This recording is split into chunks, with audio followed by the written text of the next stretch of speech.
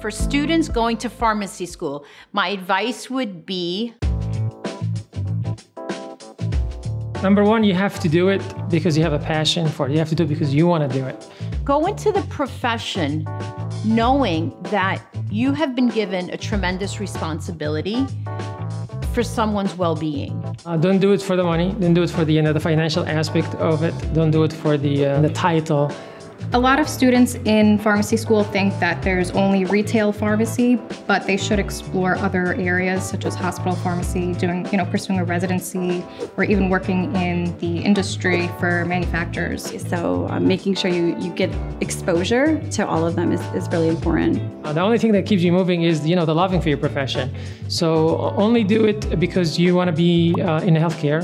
Only do it because you are a people person. Do you remember why you wanted to become a pharmacist.